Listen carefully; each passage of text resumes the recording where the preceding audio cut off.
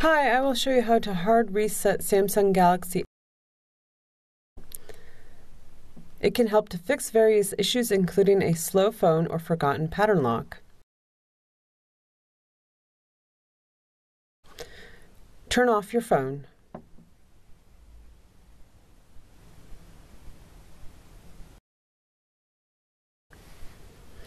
Press the volume up, home, and power button until the Samsung logo appears. Wait for the System Recovery menu to appear. Press the volume down to select Wipe Data Factory Reset option and confirm with the power button.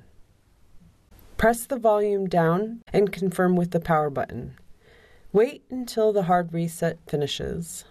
Press the power button to reboot the phone back to its normal state. Wait until the phone starts up.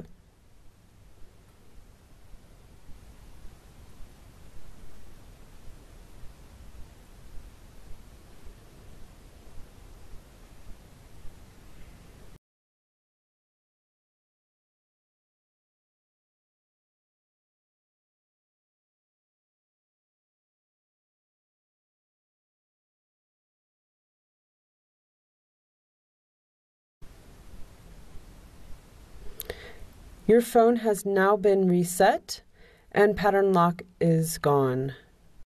Please visit resethard.com for more information on resetting your phone.